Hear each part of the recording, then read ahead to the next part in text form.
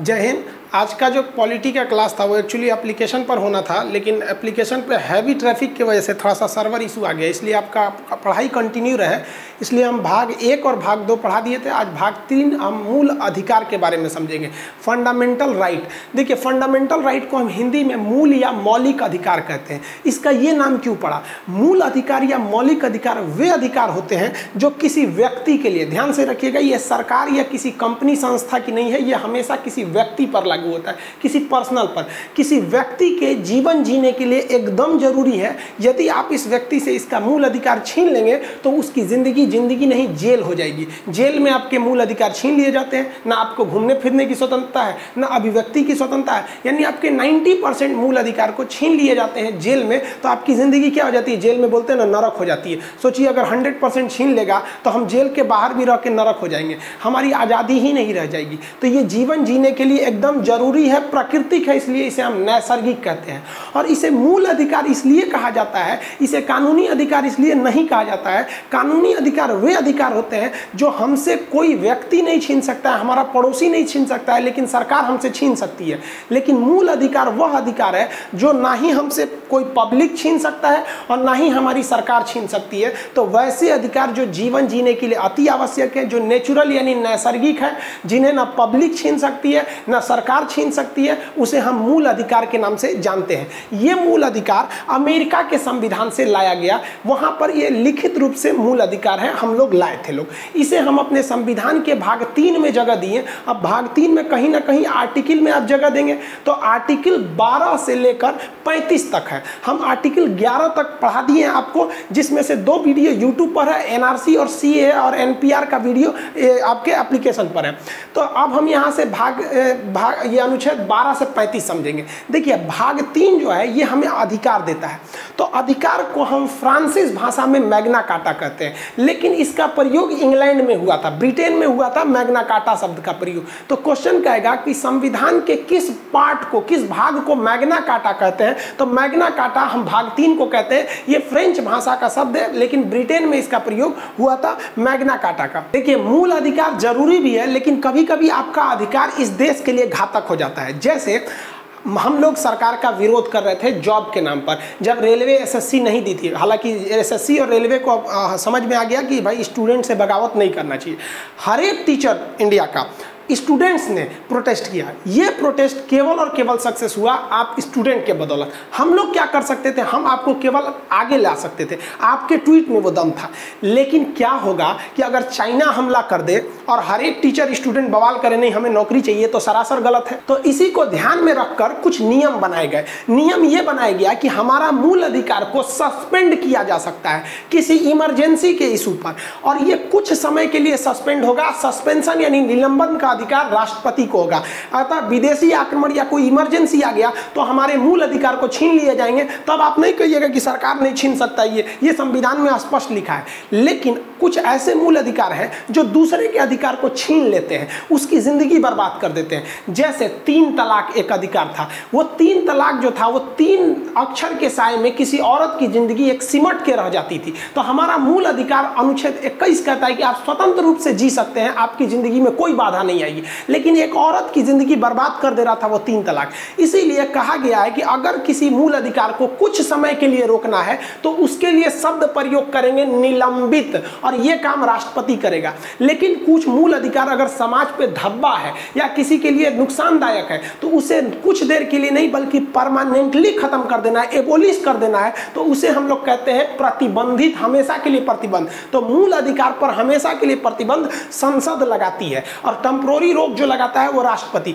लेकिन इन दोनों के पता चला संसद मूल अधिकार पर रोक लगा दिया कि कोई सरकार का विरोध नहीं कर सकता जाओ, अब हम लोग तो कब विरोध नहीं कर सकते हैं? जेल डाल देगी सरकार। तब कहा गया है कि मूल अधिकार का रक्षक कौन होगा? हाईकोर्ट और सुप्रीम कोर्ट, यानी न्यायपालिका होगी। ये हमारे मूल अधिकार की रक्षा करेगा। अगर हमारे ऊपर प्रतिबंध लगा देगा कि आप सरकार का विरोध क्यों कर रहे हैं, चाहे कोई भी सरकार हो तो हम सुप्रीम कोर्ट जा सकते हैं या हाईकोर्ट जा सकते हैं, जो करीब पहुंचेगा हमारे यहाँ पर। अतः जो मूल अधिकार हैं, वो वाद योग्य है, वाद वाद विवाद कर सकते हैं। क्यों किया? ऐसे किए मतलब वाद विवाद समझते हैं ना तो ये पूछेगा कि क्या हमारा मौलिक अधिकार वाद योग्य है? है। कहाँ हम वाद विवाद कर सकते हैं? सुप्रीम कोर्ट में। क्या हम इसे प्रवर्तन इन्फोर्स कर सकते हैं? एकदम इन्फोर्स कर सकते हैं। तो कहेगा, क्या हमारा मूल अधिकार प्रवर्तनीय? प्रवर्तनीय है तो एकदम प्रवर्तनीय है। हम सुप्रीम कोर्ट या हाई कोर्ट से इंफोर्स करा सकते हैं सरकार के ऊपर कि नहीं, उसका मूल अधिकार है, उसको दीजिए। तो ये वाद योग्य भी है और फोर्स योग्य भी है। अब इसको पढ़ना चालू करते हैं। ये कहाँ से मिलेगा? तो 12 से 35 तक। तो 12 से 35 तक तो एक ही चीज़ थोड़ी ना होगा। उसमें कई कैटेगरी है छः कैटेगरी है। तो हम आज पहला कैटेगरी समझते हैं। अभी हम बारह से अनुच्छेद बारह से आज अट्ठारह तक समझ जाते हैं। उसके बाद आपको बताएँगे। देखिए, अनुच्छेद बारह क्या करता है? ये परिभाषा देता है मूल अधिकार का। कि भाई साहब, ये ज़िंदगी जीने के लिए अधिकार ये ये ज़रूरी है, लेकिन इस पर कभी कभी रोक लगाया जा सकता है। और ये सरकार को एक तरह से ये कहता है कि सर, स्टेट, देखिए, यहाँ सरकार का प्रयोग नहीं किया गया। अनुच्छेद 12 में कहा गया है कि स्टेट, अब स्टेट यानी राज्य। कोई ऐसा कानून नहीं बनाएगा जो किसी के मूल अधिकार को छीन रहा हो या मूल अधिकार पे मतलब रोक लगा रहा हो। वो स्टे, स्टेट ऐसा कभी कोई कानून नहीं बनाएगा।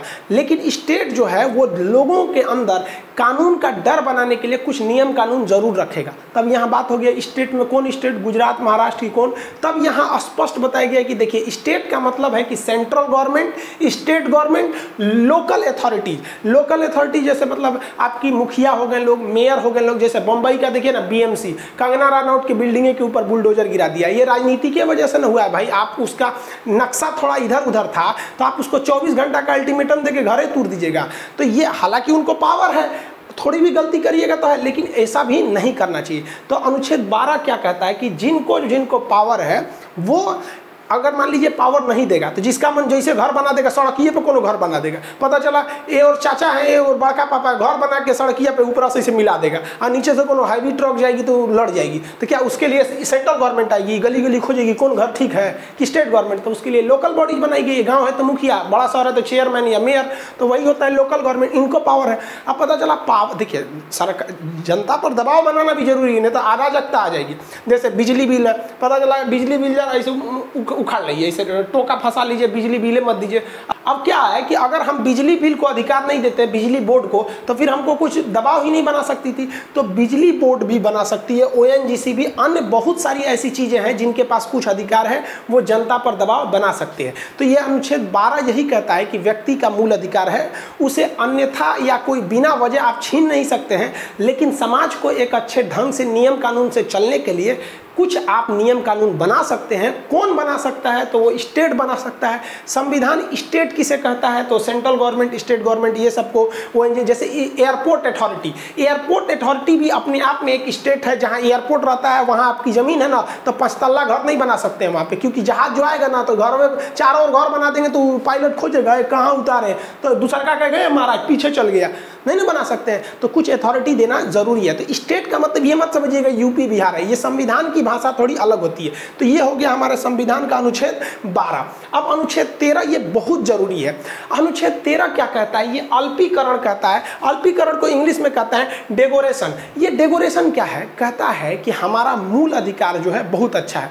लेकिन अगर हमारे मूल अधिकार से, हमारे अधिकार से किसी दूसरे को तकलीफ़ होता है तो फिर वो हमारा मूल अधिकार नहीं है। जैसे हमें अभिव्यक्ति की आज़ादी हम कुछ भी बोल सकते हैं तो कोनो को गरिया देंगे? भाई, हमारी आज़ादी हम कुछ भी बोले तो उसकी भी तो आज़ादी है भाई शान से ज़िंदगी जिए। तो हमारा ये अनुच्छेद तेरह कहता है, आपके अधिकार को घटा दिया जाएगा। कब घटाया जाएगा? जब वो असंगत हो जाएगा। असंगत मतलब क्या होता है? इनकॉन्सिटेंट अब ये इनकॉन्सिटेंट मतलब क्या होता है? असंगत दूसरे को तकलीफ़ पहुँचाने वाला ना हो। अब हमें, जैसे हमको अधिकार है, हम गाड़ी चलाएँ, कोई घर में चला दे, घुस जाओ हमारा अधिकार है कि हमें चारों ओर घूमने की स्वतंत्रता है। तो किसी के बेडरूम में घुस जाओ कदरी कुंची कर रहे तुम तो ऐसा थोड़ी ना हो सकता है भाई। तो यही कहता है कि आप आपकी आज़ादी है। लेकिन याद रखिएगा, ये आज़ादी तब तक ही है जब तक दूसरे को तकलीफ़ नहीं पहुँचे। अब इसमें एक चीज़ ध्यान से समझिए, हमारा संविधान जो लागू हुआ था, वो 26 जनवरी 1950 को लागू हुआ।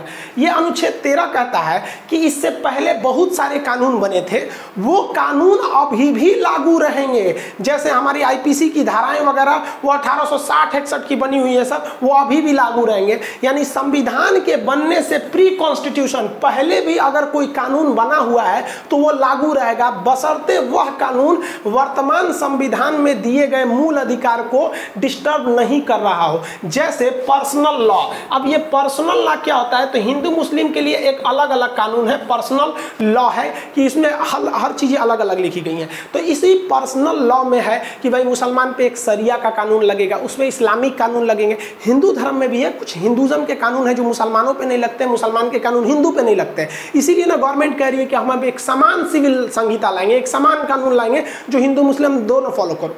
अब इसी कहा गया है कि जैसे पर्सनल लॉ चलिए अच्छा है, ये इसमें कोई छेड़छाड़ नहीं करेगा। तो अनुच्छेद तेरह कहता है कि पर्सनल लॉ में छेड़छाड़ नहीं किया जाएगा। अब इसी पर्सनल लॉ में था तीन तलाक। अब तीन तलाक में सायरा बानो ने केस कर दिया सुप्रीम कोर्ट में। अब सायरा बानो केस किया तो यहाँ से मौलाना लोग पहुँच गए। सुप्रीम कोर्ट में कहे, जज साहब, पगला गए का ये पर्सनल लॉ का मैटर है, तीन तलाक। आप कहाँ से इसमें घुस जाएँगे? तो सुप्रीम कोर्ट ने मौलाना लोग को झाड़ दिया। कहा कि आप खान सर का क्लास नहीं किए हैं? समझिए कैसे? कि पहले बन, ये पर्सनल लॉ उन्नीस सौ सैंतीस में बन गया था। मतलब ये तीन तलाक का नियम जो था, तलाक के बिद्दत उन्नीस से चलते आ रहा है, संविधान से पहले। तो सुप्रीम कोर्ट ने कहा कि आप खान सर का क्लास देख लीजिए। उसमें स्पष्ट बोला गया है कि संविधान के पहले के बनाए गए सारे नियम कानून रहेंगे। बसरते वो किसी के अधिकार को न छीन रहे हो। तो तीन तलाक जो है, वो पुरुष को अधिकार दे रहा है, लेकिन इस अधिकार में न जाने कितनी महिलाओं की लाइफ खराब हो जा रही है। इसलिए सुप्रीम कोर्ट ने कहा कि आपका पर्सनल लॉ रहेगा, लेकिन उस पर्सनल लॉ में से जो तलाक बिद्दत है, वो खत्म हो जाएगा। अब देखिए, जनता को लग रहा है तीन तलाक खत्म हो गया। अभी भी है। तलाक तीन टाइप का था। तलाक हसन, तलाक अहसन, तलाक बिद्दत। तो तलाक बिद्दत जो था, वो असंवैधानिक था। उसे दिया गया है, खत्म किया गया। न कि तीन तलाक है। ये आगे अनुच्छेद 25 में समझाएँगे अभी तो अनुच्छेद 13 है। यानी ये जैसे पहले देखिए, पहले कानून था, एक एजुकेशन एक्ट आया था भारत में कि जो छोटे जाति के लोग रहेंगे, दलित रहेंगे, वो क्लास में घुस के नहीं पढ़ेंगे, वो बाहर पढ़ेंगे। अब आप बताइए, आज वो कानून पहले जो था अभी लागू रहेगा, खत्म कर दिया गया। तो ये अनुच्छेद तेरह यही कहता है कि पहले के कानून जितने भी हैं, वो लागू रहेंगे बसरते अभी के कानून को वो तकलीफ़ नहीं पहुँचा रहे हो। तो ये तेरह बहुत ज़रूरी है। और ये कहता है कि सरकार भी ध्यान रखेगी कि बाद में भी ऐसा कोई कानून ना बनाए जो उसके मूल अधिकार को छीन रहा हो। अब पता चला, सरकार बाद में कानून बना देती है कि आप चारों ओर नहीं घूम सकते हैं सरकार पे सवाल नहीं उठा सकते। तो कहे सरकार ये न पढ़ रहे हो, अनुच्छेद तेरह, कि आप ना पहले का ऐसा कोई कानून, ना बाद में ऐसा कोई कानून। ये है भीमराव अंबेडकर। इस पर बहुत बड़ी बहस चली थी अनुच्छेद तेरह को लेकर आप सोच सकते हैं कि कितनी बेहतरीन ढंग से संविधान लिखा गया है। संविधान के बारे में एक शायर ने क्या कहा, कि तुम्हारी हर तकलीफों का मैं एक मुकम्मल जवाब हूँ। कभी वक्त मिले तो मुझे पढ़ना, मैं भारत का संविधान हूँ। सैल्यूट करते हैं उन संविधान बनाने वालों को, जिन्होंने इतना मजबूर किया। और याद रखिए, ये जो नेता है ना जो संसद में बैठे रहते हैं, बेच दिए रहते हैं आपको। ये जो संविधान है, ये उन्हें रोक के रखा है, तुम बेच नहीं सकते हो। अगर आप ईमानदार समझते हैं तो वाकई समझिए कि जो संविधान बनाने वाले थे, वो ईमानदार थे। वरना इन लोग को अभी दे दिया जाता तो बेच खा जाते सब। तो ये उन्हें रोक के रखता है। अनुच्छेद तेरह, आप याद रखिएगा, ये अल्पीकरण है। कब? जब आप दूसरे को तकलीफ़ देने लगते हैं, तब। अब आर्टिकल चौदह आता है, अनुच्छेद चौदह। इसमें बड़ा कंफ्यूजन ध्यान रखिएगा, यूपीएससी में इससे क्वेश्चन पूछता है। इसमें दो तरह की बातें गई हैं। एक कहा गया है कि कानून के समक्ष समानता, यानी कानून के आगे सब बराबर है। इसीलिए कानून पे देखेंगे ना, एक पट्टी लगा रहता है, औरत पे तलवार ली रहती है, तराजू। कहती है कि हम, हमारे आँख पे पट्टी है। अब तुम आगे राष्ट्रपति हो कि चपरासी हो ऊँचे जाति के हो, दलित हो, मुस्लिम हो, जैन हो, कोई मतलब नहीं। गलती किया छपाक दे काट देंगे। यानी कानून के समक्ष समानता इक्वेलिटी बिफोर लॉ बिफोर का मतलब पीछे नहीं बिफोर का मतलब सामने नहीं देखते अपोजिट मतलब सामने। तो कानून के सामने सब बराबर है। ये बातें सबसे पहले किसने किया था? A V Dicey. A V Dicey एक बहुत बड़े शास्त्री थे, उन्होंने ये बात को बताया था। ये यूपीएससी का क्वेश्चन पूछा है कि ए वी डेसी का सिद्धांत कौन है? तो कानून के समक्ष समानता। इसी को फॉलो किया गया ब्रिटेन में। ब्रिटेन में कानून सबके लिए बराबर है। वहाँ की रानी के लिए भी, प्रधानमंत्री के लिए, सबके लिए भी। लेकिन अमेरिका के लोगों ने कहा कि ये गलत है। कानून सबके लिए बराबर नहीं होना चाहिए। जैसे मान के चलिए कि कोई पाँच साल का लड़का है, वो क्लास फाइव मान लीजिए कोई क्लास पाँच साल का लड़का है, और कोई लड़का बीस साल का है। तो क्या एक ही कानून दोनों पे लागू कर देंगे? देखिए तो पाँच साल के लड़के का टिकट ट्रेन में आधा लगता है और बीस साल के लड़के का टिकट पूरा पूरा लगता है। अब अगर कोई सुप्रीम कोर्ट में केस ठोक दे, इस आधार पर कि सुप्रीम कोर्ट, आप बहुत बड़े कानून के रक्षक बनते हैं, ये बताइए, हम 20 साल के हैं, तब वो भारत के नागरिक, हो बचो है तो वो भारत का, ओकरा आधा का है लग रहा है, हमरा का है, पूरा लग रहा है। समझ में कि नहीं आएगा तो यही कहता है कि देखिए, अमेरिका के संविधान में क्या कहा है? कानून का समान संरक्षण। यानी अगर आप बड़े हैं या छोटे हैं, अगर कोई गलती कर दिए हैं तो सजा आप दोनों को बराबर मिलेगी। लेकिन कुछ हद तक आपको अलग देखा जाएगा क्लासिफिकेशन के नाम पर। जैसे भारत में महिलाओं को फांसी नहीं लगी अभी तक। कुछ डिफ्रेंसिएशन करना ठीक है। ये क्यों ठीक है? क्योंकि समाज को एक बेहतरीन बना के रखने के लिए। आप देखिएगा, एगो लड़का लड़की शादी करके भाग जाएगा सब। अब उसके बाद से लड़कियाँ पकड़ाएगी ना। तो कोर्ट में आके क्या कर देगी? हमको बहला फुसला के लेके भाग गया। अब आप बताइए, किसी लड़की को कोई बहला फुसला के भागेगा? कि चलो चलो चलो, भाग जाते हैं, भाग जाते हैं, शादी कर लेते हैं। नहीं ना लेके भाग सकते हैं। ऐसे कोई लड़की को लेकर भागेगा। और देखो, कौआ कौआ कौआ। अरे बहलाया फुसलाया किसको जाता है? जिसके पास बुद्धि नहीं है। तो हमारा कानून कहता है कि देखिए, समाज को बेहतर बनाने के लिए ज़रूरी नहीं कि सब पे कानून बराबर लगे। किसी पे थोड़ा सख्त कर दीजिए, किसी पे कम कर दीजिए। इसका मेन मकसद है हिंदुस्तान को अच्छा रखना।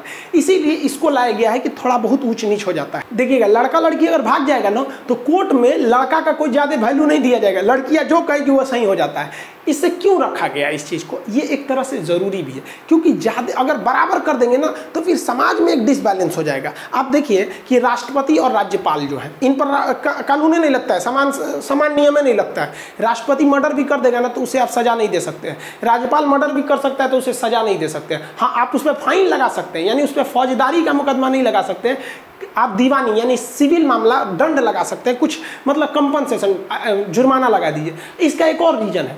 आप राष्ट्रपति को कह दिए कि इसको 10 साल का जेल होगा।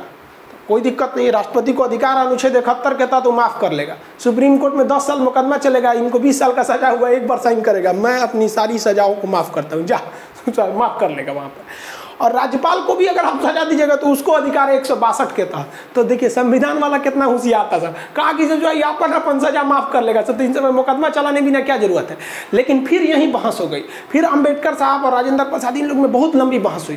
तब वहाँ लिखा गया कि इनको सजा तब तक नहीं सुनाई जाएगी जब तक ये अपने पद पर है। अगर राष्ट्रपति का पद खत्म हो गया या राज्यपाल का पद खत्म हो गया तो अधिकार भी खत्म। अब जज चाहे तो सजा सुना सकता है। देखिए, हमारा संविधान कितना बेहतरीन है। यानी आप पूरे देश में देखिए, राष्ट्रपति और प्रधानमंत्री किसी को भी छूट नहीं है। हाँ छूट कब तक है? जब तक तुम ससुरा अपने पद पर है। पद से हट फिर तुमको बताते हैं। तो ये आप आर्टिकल चौदह समझे, इसमें दो चीज़ें हैं।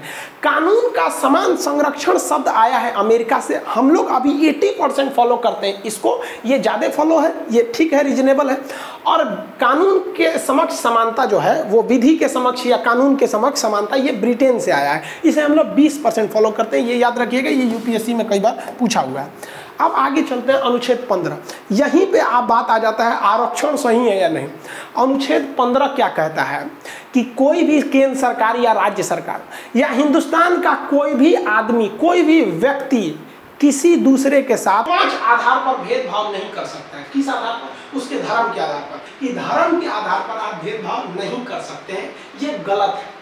जाति के आधार पर आप भेदभाव नहीं कर सकते। किसी को ऊँचे जात वाले को भी आप देखते हो ना, समाज में बड़ा ज़्यादा होता है, तुम छोट जात का, तुम ऊँचे जात का। तो संविधान में इस पर भी रोक लगाया गया। वंश के आधार पर भी रोक है। किसी से खानदानी दुश्मनी है, आप वंश के आधार पर भी आप रोक नहीं लगा सकते। कौन किस वंश का? अब आप जनरली समझिए। जब अठारह की क्रांति हुई थी ना तो मध्य प्रदेश के जो सिंधिया राजघराना था, उनका वंश था। उन्होंने अंग्रेज़ों का साथ दिया, अंग्रेज़ों को पैसा दिया, अंग्रेज़ों को हथियार दिया कि तुम भारतीयों को मारो। सोचिए, ये हाल हो गया था उस समय। तो आज उसी वंश के व्यक्ति हैं ज्योतिरादित्य राय सिंधिया, जो कांग्रेस के थे, अभी बीजेपी में फिर कहाँ जाएँगे नहीं पता। तो आपका क्या है? आप इतिहास पढ़ लेंगे तो उनसे दुश्मनी करेंगे कि तुम्हारे वंश वालों ने ऐसा किया था, आज भी तुमसे दुश्मनी करेंगे। नहीं, आज भी उन्हें महाराज लोग बोलते हैं। आप दक्षिण में जाइएगा, हैदराबाद में असदुद्दीन ओवैसी जो इनके पूर्वज को देखेंगे, दादा पर दादा लोग का तो ये लोग भी अंग्रेज़ों का साथ दिए थे। लेकिन बाद में इधर ज्योतिरादित्य राय सिंधिया, हिंदुस्तानी कानून को माने, उधर से वो भी माने तो अब बराबर हो गया तो अब वंश के नाम पर उनसे कोई भेदभाव नहीं करता है। अगला होता है लिंग के आधार पर। लिंग मतलब होता है कि आप लड़का हैं या लड़की हैं या ट्रांसजेंडर, इस आधार पर भेदभाव नहीं होगा। लेकिन आज भी देखा जाता है समाज में पुरुषों को ज़्यादा वैल्यू होता है, महिलाओं को कम होता है, लेकिन संविधान जो है, वो कहता है कि अगर कानूनी रूप से आप पकड़े गए तो फिर आपको छोड़ा नहीं जाएगा। तो सामाजिक कर्तव्य भी कुछ बनता है तो लिंग के आधार पर भेदभाव नहीं कर सकते। जन्म स्थान के आधार पर भी भारत में भेदभाव होता है। बिहारी को बाहर जाएगा तो कहेगा, दूर, बिहारी है रे तुम। तो ये जन्म स्थान के भेदभाव होता है यहाँ पर। आप अक्सर देखे होंगे, महाराष्ट्र में ये समस्या, बिहारी, मराठी, यूपी, ये, वो बहुत ज़्यादा होता है। तो इस आधार पर आप भेदभाव नहीं कर सकते हैं। अगर इस सबूत मिल गया आपको कि भेदभाव किए हैं तो फिर आपको सजा हो जाएगी। सबूत नहीं मिला ना तो कुछ करिए आपको सजा नहीं मिलेगा। कोर्ट कहता है कि हम अंधा हैं। हम नहीं देखने गए कि कौन हुआ। तुम हमको साबित करो। कोर्ट में वही सही है जिसे साबित कर दिए, वही गलत है जिसे आप साबित कर दिए। कोर्ट में सही गलत कुछ नहीं होता है। कोर्ट में होता है कि आप साबित किस चीज़ को कर पा रहे हैं। समझ आ गया कि नहीं? तो ये हो गया इन पे आधार पर भेदभाव नहीं कर सकते लेकिन यहीं पर लिखा गया है कि आप पॉजिटिव डिस्क्रिमिनेशन कर सकते हैं। मतलब किसी की भलाई के लिए आप भेदभाव कर सकते हैं। तो उसको नहीं बुरा माना जाएगा। जैसे आप देखते होंगे हैवी ड्यूटी जहाँ बहुत भारी भारी वर्क करना हो, वहाँ महिलाओं को रोक लगा दिया जाता है। तो आप कहेंगे कि नहीं लिंग के आधार पर क्या भेदभाव कर रहा है? वो तो पॉजिटिव काम के लिए कर रहा है। आप बॉर्डर पर चाइना की फौज लड़ना है। समझा? तो वहाँ जाते तो आप भी बताइए, किसको रखेगा? पुरुष फौजियों को रखेगा? एकदम कि कम मार हो जाएगा? तो सुप्रीम कोर्ट में केस कर दीजिएगा क्या भेदभाव हो रहा है, महिलाओं को भी लड़िए वहाँ पे तो नहीं रखा जाता है। देखिए फिजिकली थोड़ा सा पुरुष जो होते हैं ना स्ट्रांग होते हैं, ये बायोलॉजिकली है, आप समझते हैं इसको। तो पॉजिटिव के वजह से अगर आप भेदभाव कर रहे हैं तो कोई गलत नहीं है। यही बात आ जाता है आरक्षण। अब ध्यान से समझिएगा, आरक्षण शब्द आते ही हिंदुस्तान में दो परंपरा चलती है। जिन्हें आरक्षण मिल रहा है, उन्हें लगता है आरक्षण सही है। और जिन्हें आरक्षण नहीं मिल रहा है, उन्हें लगता है आरक्षण गलत है। ये दोनों एक दूसरे में किसी की बात नहीं सुनना चाहते। एक को कहता है, खत्म करो। एक को कहता है, नहीं करो। अरे भाई साहब, तनी दिमाग लगाओ। अगर आरक्षण गलत रहता तो सुप्रीम कोर्ट खुदे खत्म कर देता। अनुच्छेद तेरह क्या कहता है कि अगर कोई चीज़ गलत है तो हम उसे खत्म कर देंगे। तीन तलाक खत्म हो गया कि नहीं? आरक्षण की बात। देखिए, आरक्षण क्या है कि समाज में कई तबके के लोग रहते हैं। ये कई कई वेराइटी के लोग रहते हैं। अब जैसे देखिए, आप ये दो वेराइटी जो है, थोड़ा सा नीचे रह गई तो आरक्षण कहता है कि ये लोग जो आगे बढ़ गए हैं, इन्हें आगे बढ़ने दीजिए। इन्हें आगे बढ़ने से कोई नहीं रोका है।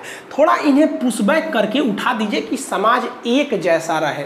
ये जो लोग पीछे से प्रताड़ित हो रहे हैं, आप सोचिए ना, आरक्षण कितना खराब होता है कि मूला कर्म एक कानून था केरल में, जिसमें दलित महिलाएँ अपना स्तन नहीं ढक सकती थी, उन्हें नंगे रहना पड़ता था। स्तन नहीं, स्तन उनका खुला रहना चाहिए था। और हद तब हो गई कि टैक्स लगाया जाता था इस आधार पर कि छोटा स्तन है तो कम टैक्स दो बड़ा स्तन है तो ज़्यादा टैक्स दो। ये हिंदुस्तान के जो पुराना था, कहा जाता है कि मोर भी बड़ा सुंदर होता है, लेकिन अपना पैर देख लेता है ना तो उसे भी शर्म आने लगती है। तो हिंदुस्तान की संस्कृति बहुत अच्छी रही है, लेकिन हमारे पास भी कुछ मोर के पैर की तरह है। ये जैसे सती प्रथा हो गया, ये सब छुआछूत हो गया, ये हिंदुस्तान में बहुत ज़्यादा हो गया। तो कहा जाता है कि आरक्षण एक पॉजिटिव डिस्क्रिमिनेशन है। ये किसी आगे बढ़ रहे व्यक्ति को रोकता नहीं है कि तुम नहीं कर सकते हो। जो पीछे है, उसको कहता है कि तुम आगे चले जाओ। अब क्या होता है? कि यहाँ पर इसको निगेटिव व्यू में आपको प्रस्तुत किया जाता है। अगर ये गलत रहता तो फिर आपको क्या होता, वो सुप्रीम कोर्ट तो रोक ही देता। आपके हिसाब, देखिए बात बता देते हैं दुनिया में अभी हिंदुस्तान की बात बताते हैं। अगले 50 साल तक आरक्षण खत्म होने वाला नहीं है। ये खुद गवर्नमेंट बोल चुकी है। मोदी जी भी बिहार में आए थे तो क्या बोले थे भाषण में? आरक्षण खत्म नहीं होने देंगे। मनमोहन सिंह भी थे। खुद मोदी जी ने आरक्षण बढ़ाया है संसद में, जो आरक्षण 2020 में खत्म हो रहा था, उसे संशोधन करके 2030 ले गए हैं। तो इसलिए आप किसी पे दोष नहीं दे सकते, क्योंकि हर आदमी को चुनाव जीतना है। तो अगर ये आरक्षण खत्म किया जाएगा ना तो चुनाव में भी हार सकते हैं।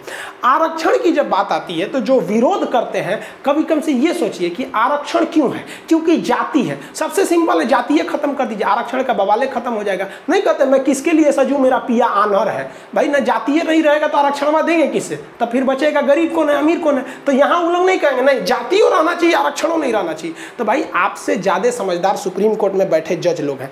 वो इसे एक पॉजिटिव डिस्क्रिमिनेशन समझते हैं, एक पिछड़े समाज को आगे बढ़ाने के लिए कहते हैं। क्योंकि जिस समाज को आरक्षण प्राप्त है ना, उस समाज को मंदिर में घुसने पर रोक मतलब भेदभाव किया जाता है। आप एक एग्ज़ाम्पल देखिए, बिहार के मुख्यमंत्री जब थे जीतन राम मांझी तो बिहार का मुख्यमंत्री, सोचिए, उस उस राज्य का सबसे बड़ा पावरफुल होता है। वो जब मंदिर में पूजा पूजा करने गए थे तो जाने के बाद मंदिर धुल दिया गया था। ये क्या चीज़ है? ये है निगेटिव डिस्क्रिमिनेशन कि उसको आप निगेटिव कर रहे हैं और आरक्षण देना क्या है? एक पॉजिटिव डिस्क्रिमिनेशन है। ये हम नहीं कर रहे हैं, ये संविधान कर रहा है। हम जो बता रहे हैं, आपको संविधान के हिसाब से बता रहे हैं। हम फिर बताते हैं कि जिसे आरक्षण नहीं मिल रहा है ना, वो मेरी बात, सुप्रीम कोर्ट की बात, संविधान की बात सुनेगा ही नहीं, वो दिमाग में बैठाया है कि हमारा विरोध करना है।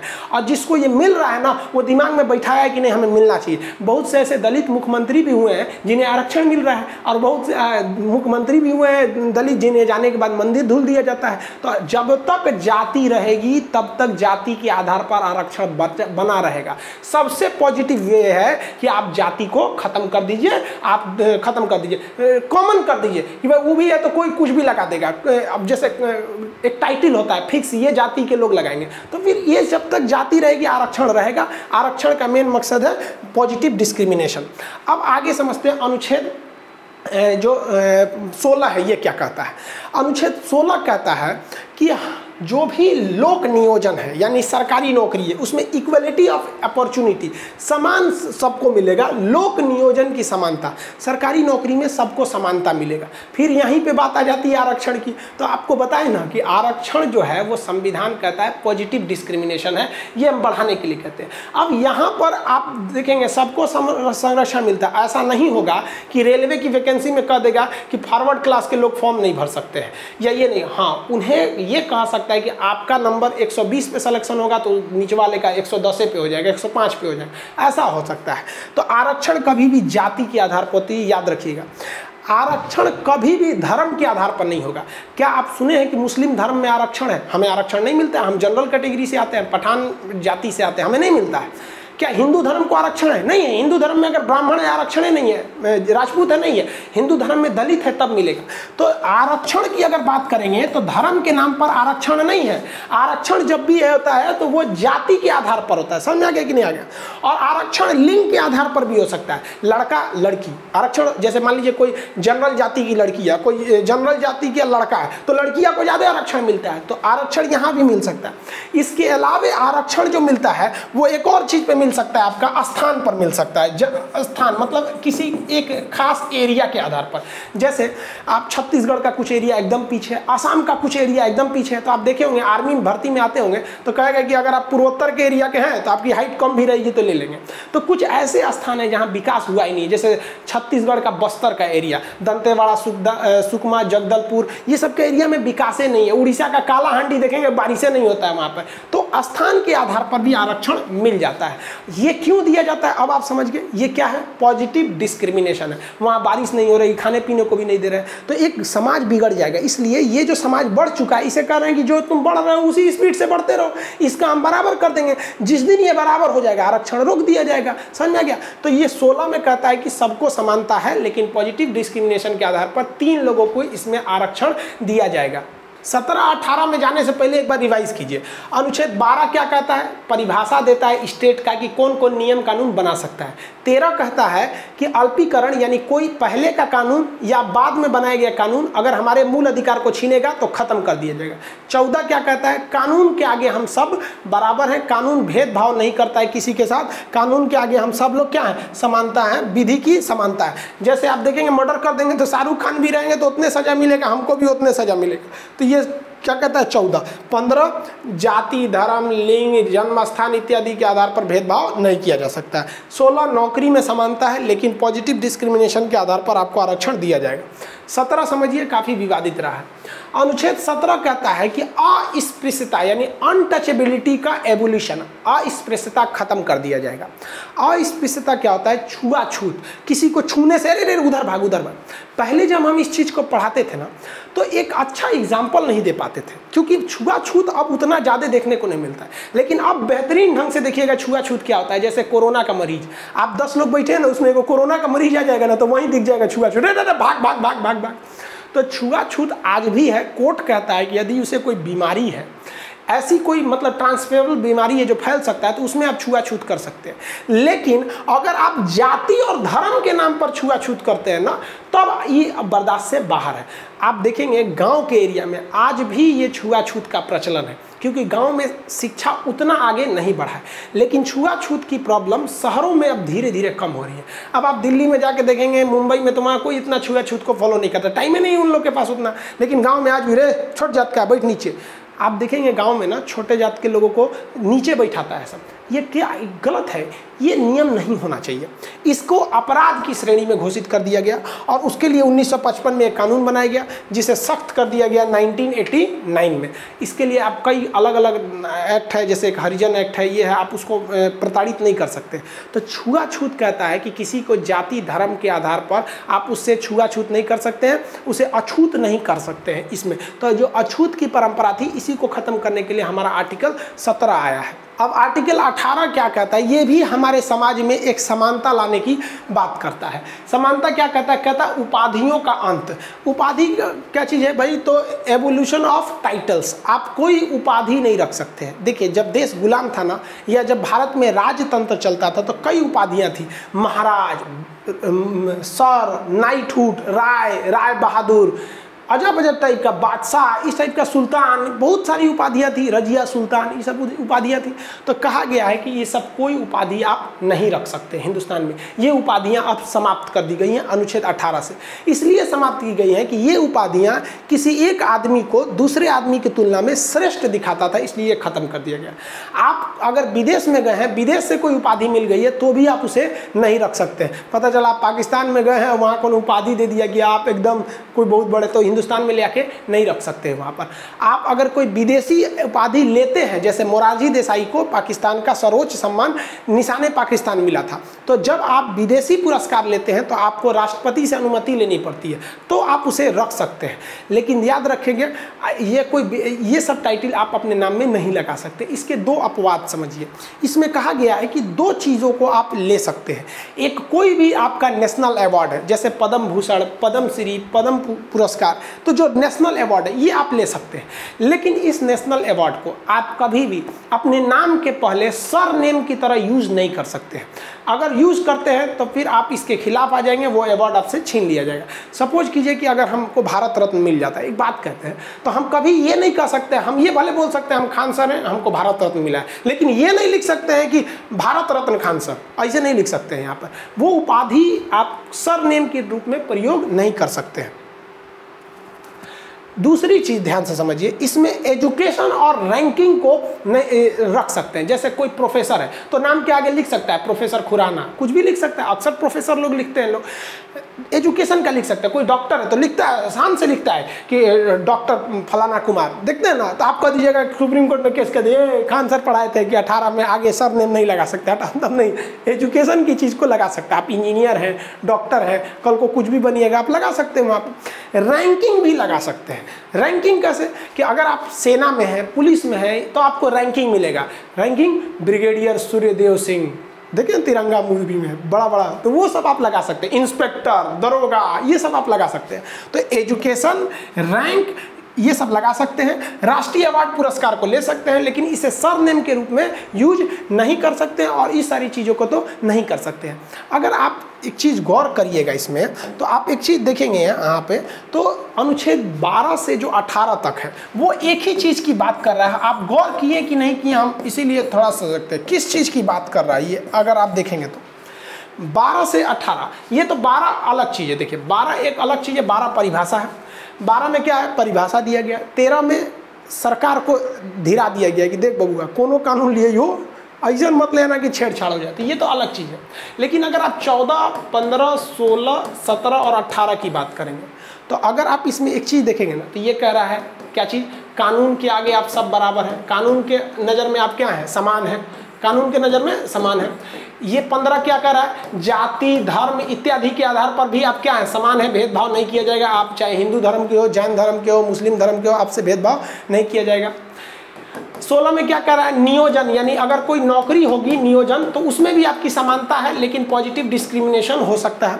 सत्रह में कह रहा है, अस्पृश्यता अस्पृश्यता मतलब छुआछूत नहीं कर सकते, यानी ऊँचे जाति वाला व्यक्ति और नीचे जाति वाला व्यक्ति, सब क्या है? सब समान है। अठारह में कह रहा है कि आप कोई भी उपाधि नहीं रख सकते हैं। उपाधि नहीं रख सकते हैं। क्यों नहीं रख सकते हैं? क्योंकि भाई आप सबको लोग क्या है? समान है। एजुकेशन की उपाधि क्यों रख सकते हैं? क्योंकि प्रोफेसर कहने का मतलब आप उस व्यक्ति को नहीं ऊँचा कर रहे हैं।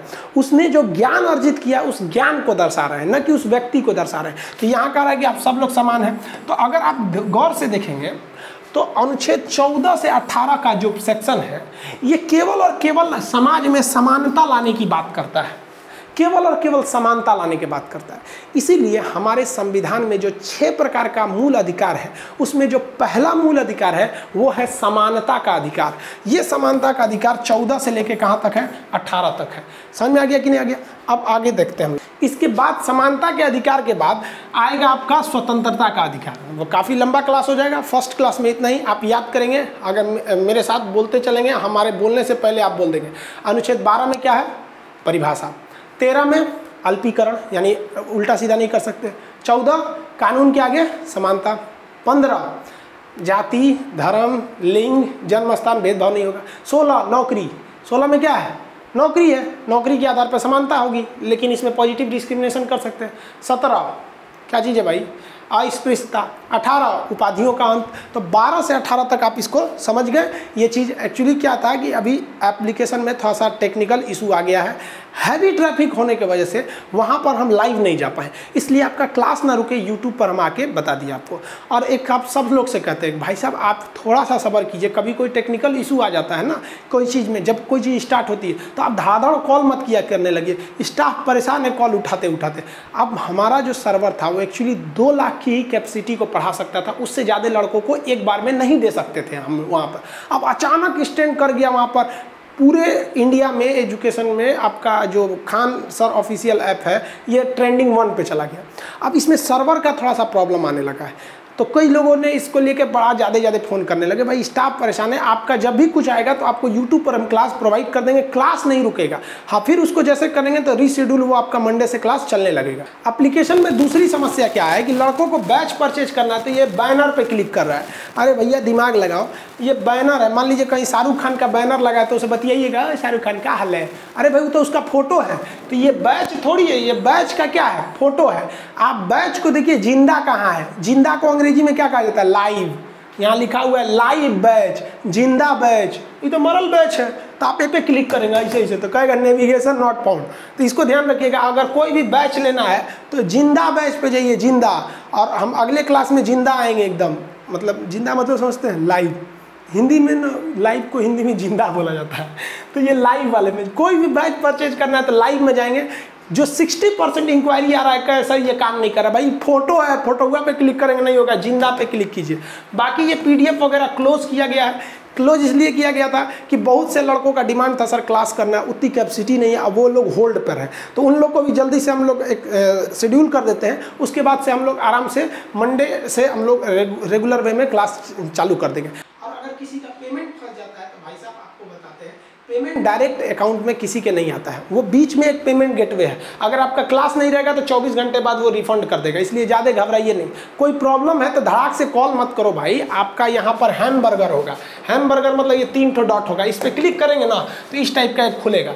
इसमें होगा आस्क डाउट यहाँ पर जाके आप अपनी प्रॉब्लम को लिख देंगे तो कोई लड़के को अगर हम लोग इंक्वायरी दिए रहेंगे, उसका सेम प्रॉब्लम होगा ना तो वो बता देगा आपको, नहीं भाई, ऐसे नहीं होगा। जिस तरह से यूट्यूब पर कमेंट होता है ना, वो यही है कमेंट और जब लाइव पढ़ाएँगे, यानी जब ज़िंदा पढ़ाएँगे तो आप कमेंट नहीं, सीधे चैट कर सकते हैं। यहाँ से हम भी चैट कर देंगे, आपसे, आप भी सीधे चैट चैट कर सकते हैं लाइव चैट में। तो समझ में आ गया आप लोग को ये मूल अधिकार का पार्ट वन हो गया। अब आगे हम आपको इसका पार्ट टू पढ़ाएँगे, जिसमें अनुच्छेद 19 पढ़ाएँगे। फिर ये पढ़ाएँगे कि तीन तलाक कैसे खत्म हो गया, हलाला क्या चीज़ था, इसको खत्म कर, किया गया तो क्या ये धार्मिक स्वतंत्रता का उल्लंघन है, ये सारी चीज़ों को आगे नेक्स्ट क्लास में समझा देंगे। तब तक के लिए जय हिंद।